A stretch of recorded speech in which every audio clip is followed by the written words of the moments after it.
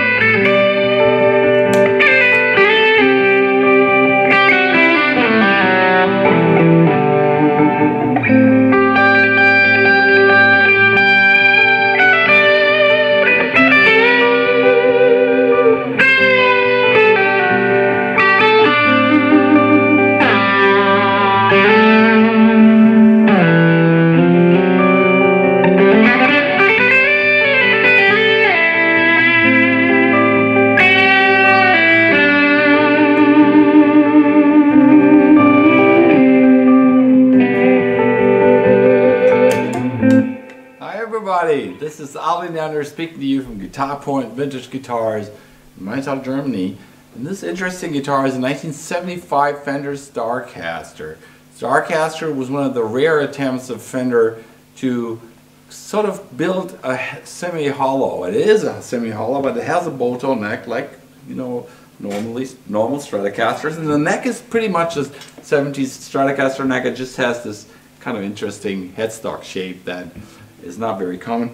Of course, these guitars were completely forgotten and was sitting around in pawn shops, and then the guitars from the Killers started to play them, and so they got more fashionable again. And no, but not just because of the Killers, but because of, because these guitars are kind of interesting. They have the, the, the Fender wide range humbucker, same uh, as on the thin line uh, Telecaster, rose to fame, of course, with Coldplay, who uh, the guitarist of Coldplay plays these pickups, more or less. And, and what I like about them is that uh, they're also uh, designed by Seth Lover, the inventor of the humbucker. Classic pickups. They're a little weaker. I mean, not, not uh, current-wise. They have a lot of, you know, kilo ohms, but they're not as loud as normal humbuckers. They're not as fat. They're a little slimmer. Clean sound uh, and if you want to do textures, you know, guitar textures that you want it a little warmer than like usual uh, single coils and uh, so this the whole Coldplay area is perfect with these pickups because it's it's a certain warmth but it's clean and beautiful and that's what these uh, pickups are really good for they stay kind of transparent. And they have a sweet distorted sound too. The, the whole guitar is really interesting because it has this Fender feel, but it's a, a semi-hollow guitar. It looks cool, and uh, it's something you don't find everywhere uh, uh, too often. And uh, you know, this is the first one that came in this, at least the first one that I played over here, and it's fun to play. It's it's it's a Strat feel, but it's kind of a a different guitar.